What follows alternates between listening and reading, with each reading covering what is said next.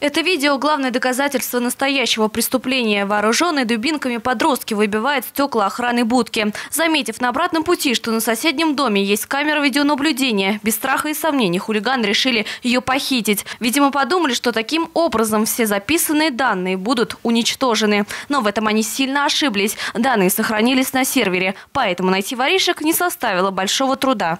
Писали мы ВКонтакте, отписались уже учителя, директор, что родители нашлись.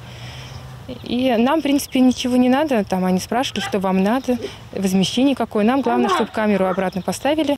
Хозяйка дома решила не подавать заявление в полицию, а лишь потребовала возместить ущерб. Однако это не значит, что подростки избегут ответственности. Возможно, этим делом займется подразделение по делам несовершеннолетних. Вообще, долгострой в поселке Западный давно стал излюбленным местом для времяпровождения детей. Охраны там нет, поэтому они чувствуют полную свободу. Фонари, вот, допустим, по этой улице, там полностью они все разбиты. В прошлый раз вот э, это дети, там даже девочки, не то что даже мальчики, девочки, они камнями в эти фонари, вот, мы их тогда разогнали, так они убежали, их же не догонишь, они в разные стороны разбегаются и все. И это, они разбежались, так потом и ушли, они снова к этим же фонарям, то есть бесстрашные дети.